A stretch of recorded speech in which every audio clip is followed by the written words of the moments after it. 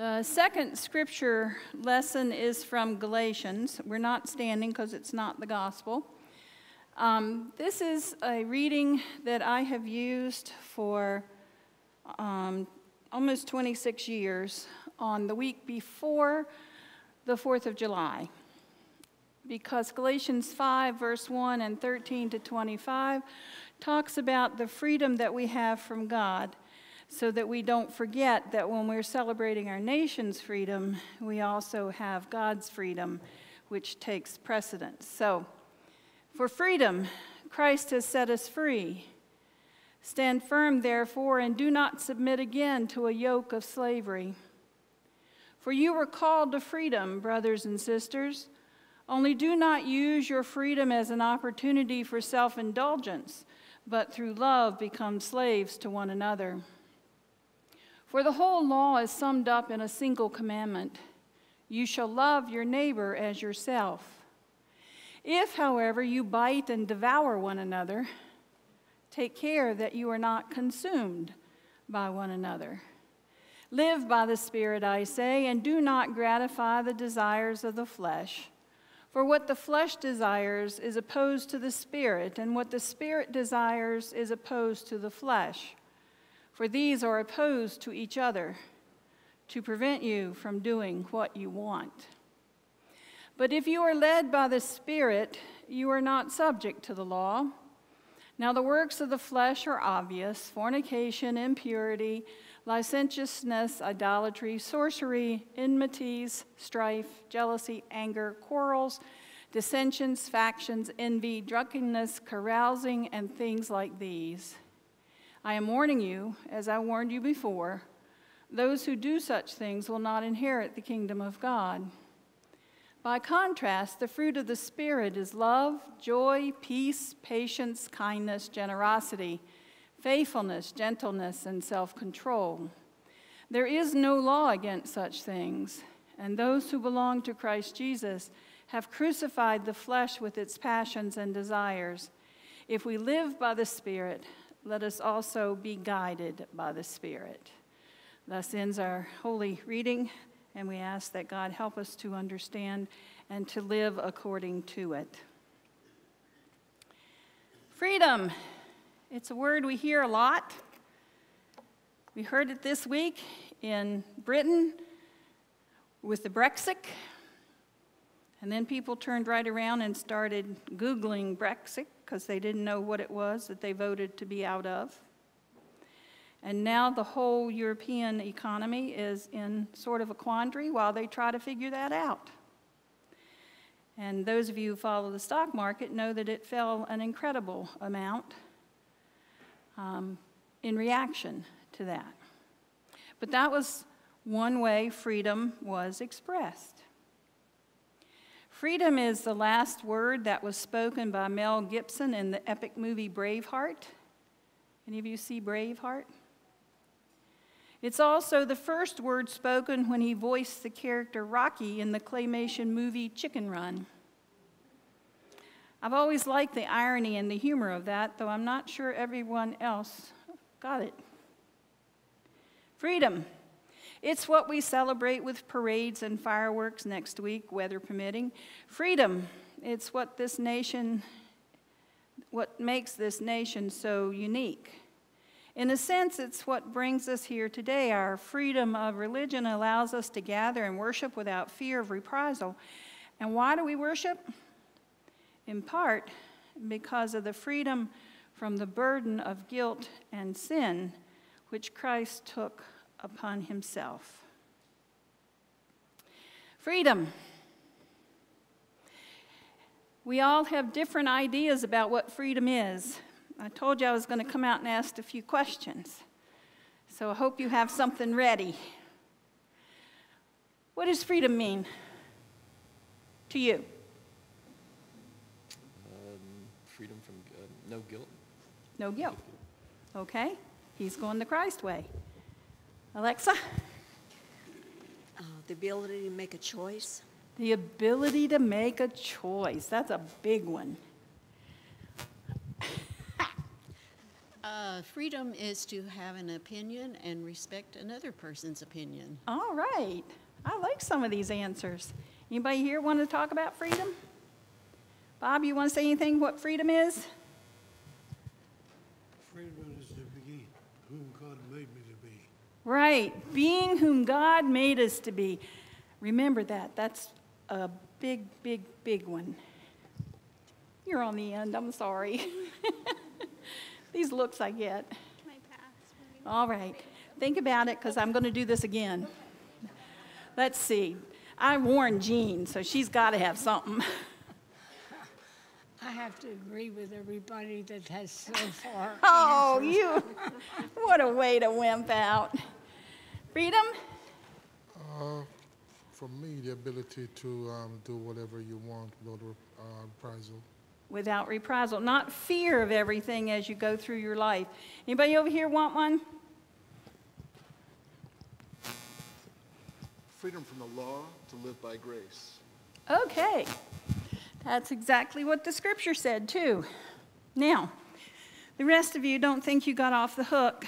My sermon today includes walking up and down and talking to you a lot. Remember last week I said it was a downer, but this week was going to be fun? This time, think about what you would miss the most if you didn't have freedom in this nation. Just think about it. While we celebrate our freedom, in the letter to Galatians, the Apostle Paul says, Be careful. A precautionary word about using our freedom. He said, For Christ set us free. Stand firm, therefore, and do not submit again to a yoke of slavery. Being forgiven of sin by Christ doesn't give us an empty slate to go out and sin again if we want to. We can ask for forgiveness 70 times 70 times 70, but once freedom is yours, be grateful and treat it with gratitude. He goes on to say, For you were called to freedom, brothers and sisters. Only do not use your freedom as an opportunity for self indulgence, but through love, become servants to one another. For the whole law is summed up in a single commandment, and I have preached this almost every week that I have been here. You shall love your neighbor as yourself. Paul was talking to a group of Christians who were arguing about what it meant to be Christian. There were a group of Jews who had become Christians who wanted the Gentiles to be circumcised before they became Christians. In other words, become a Jew before you can become Christian. And Paul said that wasn't necessary. There was a faction with another um, apostle who did think that that was necessary, but not so Paul. And then he talked about getting rid of the fetters that we have the binds, the ropes, the things that change, chain us, um, our regrets, our guilt, our um, wishes, all those things that keep us from being the people that, as someone said, God created us to be. And if you remember in Genesis, it is God created us in God's own image, male and female in God's own image. So, how many of you know the Dixie, the Disney um, Pixar movie Up? This will mean more to those who do, but it still is a good story. The basic story is about the adventures of Carl and Russell. Carl Fredrickson is a 78 year old man stuck in the past and stuck in his home. And the city wants to tear it down to put up office buildings. Carl thwarts them, he thinks, by tying thousands of balloons to his home, although in the movie I didn't count a thousand. A bunch of balloons to his home to make it float up and away. And um, what he didn't know was that there was a kid hiding in his house who was trying to get a badge for helping an old person. And he was determined to help Carl, even though Carl didn't want him. Helping an old person button filled out his sash, and there would be a special um, ceremony for that. And he hoped that his father, who wasn't very present in his life, would show up for that. And so the two of them float off in this house, raised by balloons. I don't ask you to figure out whether or not it's reasonable to consider that. It was a cartoon, so anything's possible in a cartoon. So while they were going through all their adventures, some of them good, some of them bad, they became close friends. And at the end, they both realized that the past and the things that they had hoped for that would never come true were the very things that were holding them down, keeping them from living the full life that they each wanted to. The closing scene is Russell at his ceremony, and Carl is the one who goes up and pins his Help an Old Person button on the, on the sash. If you haven't seen it, rent it. It's a wonderful movie. I've used it for confirmation classes to help people understand the, the whole idea of helping one another means in any circumstances, and letting go and letting God means um, that you don't hold on to things that um, don't help your freedom, don't help you being the person God created you to be. Now, that phrase to love one another, to love your neighbor as yourself, that's what this whole reading was about. It listed all those things that were against the law of God. And then along comes Christ and says, You're free from the law. Not that you should go out and do all those things, but that you're free from the guilt and sin of the law because God's grace in Jesus Christ has set you free.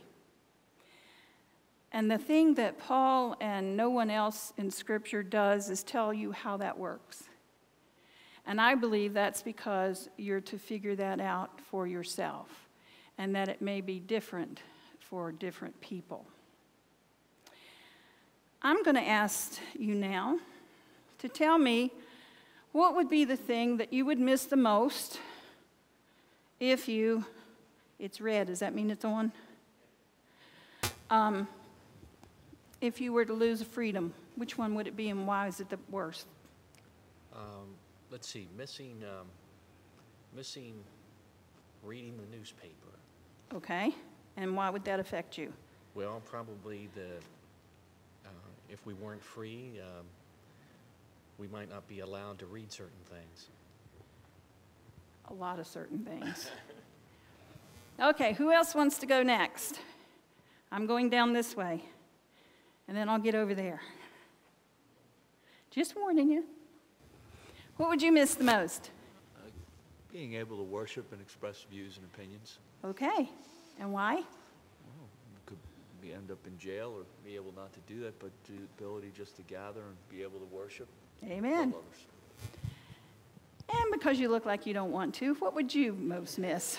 Uh, I would miss the ability to move around freely when I choose and where I choose. Right. Hugh, you want to do another one? Sure, why not? I'd miss the uh, expectation that my grandchildren could grow to be what they were capable of being. Right. All right. Good one to miss. Anybody else? How about you? I knew you were going to pick me, by the way, Okay. when you were up there. Is that the freedom you're going to miss? No, no, no, no. I would really miss the, uh, the right to bear arms. All right. How about you? The freedom not to respond when demanded to respond.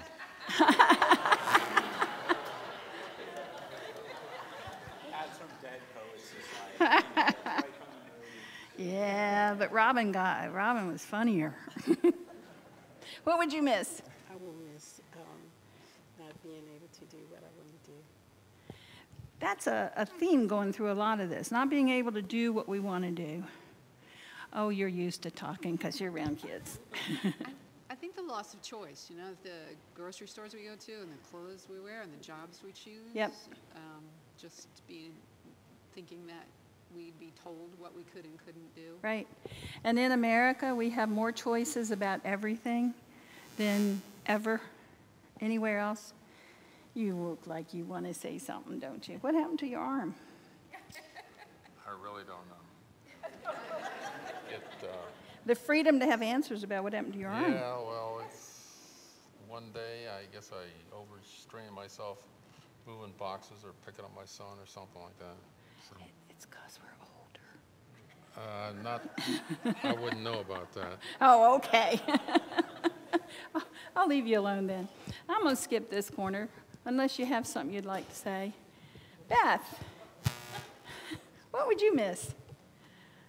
I guess the freedom of religion to be able to, to serve our God how we want. Freedom of religion is, is a unique thing, folks. You know, we're, we're in a minority of countries who have that. Okay. Mandy? Well, my name is not Randy, but that's okay. All right. I've been calling you Randy since day one. I. Uh, What is your name? It's Barry. Oh, Barry, that's right. The, the freedom to, like, uh, like Dan said, uh, to worship the way I choose. Okay. And on, when I'm texting you and Mike, I, I know that you are not Randy. I know that there are people in the other parts of the world, females who can't get an education. And knowing that I have the ability at any time, my children do, to get an education, the thought of that being taken away terrifies me. And God says girl power. All right. Who over here would like to be assaulted with the microphone in your face? Raise your hand. Come on, somebody. Somebody. Somebody. Snuck up on you. What would you miss the most if you lost all your freedom? I think freedom of speech and freedom of religion, Yep. choosing religion. I would hate to lose freedom of speech. Did you have your hand up, sweetie? Would you like to answer?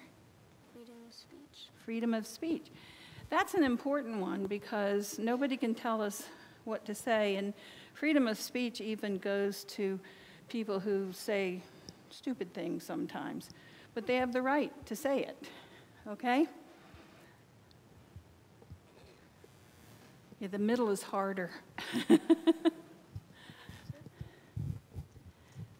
If I don't have freedom, I'm going to miss worshiping God. But I know what could happen if I don't have freedom. I can only think of persecution.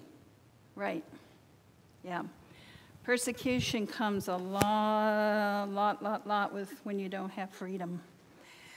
The-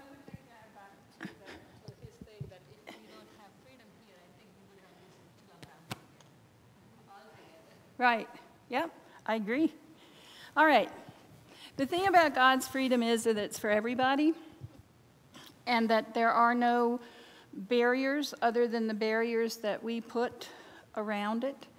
Um, when God sent us Christ, it was to get rid of, first of all, the slavery to the law, which means all 642 whatever um, laws that came out of the Jewish life.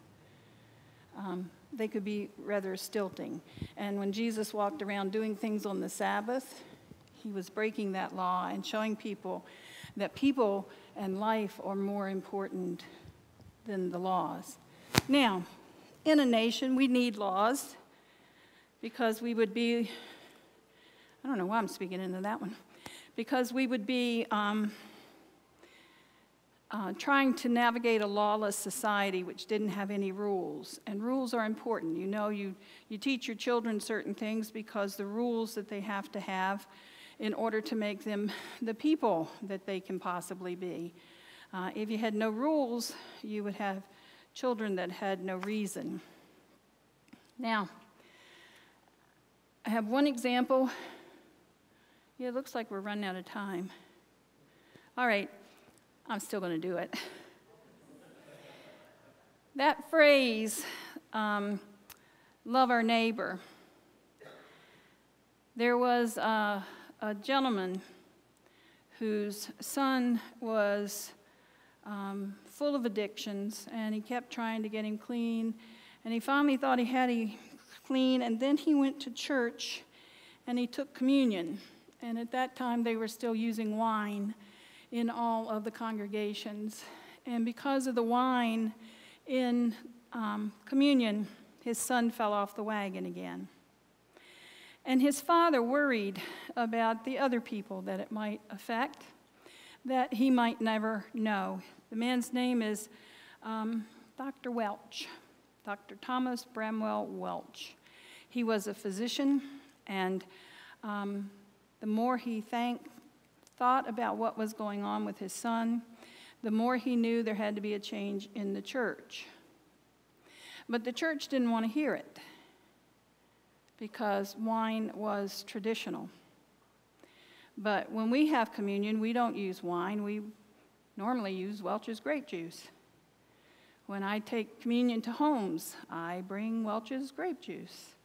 And the reason we can do that is because Dr. Welch kept at it. He kept bugging his church until finally they agreed. And he made a non fermented wine, the grape juice, for them to use. And that was in 1869. And since then, most of Protestant churches either have an option of non wine or simply, like most Methodist churches, don't serve wine because a person's um, welfare is more important than that particular tradition. Alcohol wasn't a problem for him, it was for his son, but he did this not for his son, but for all the other people who might also be victimized by the, the wine. And so when you get communion next month, next week, think about why you are having juice. Freedom. I had a third one to do, but I'm not going to do it. So consider yourselves lucky people who didn't come. The freedom we have in this country is unique. But as I said in the beginning, the freedom from God takes precedent even over that freedom. Some of you would miss the faith side, the gift from God's side, and others would miss things that our nation has to offer. But they're not mutu- mutually exclusive. In fact, if we consider ourselves a Christian nation, which technically we are not, but for those of us in the church, we are. And because we are, the freedom that Christ gives informs the freedom that our nation gives. So, parades and parties and fireworks, all kinds of things will mark our freedom. But Christ's mark is upon us. And for freedom, Christ has set us free. And let the people say, Amen.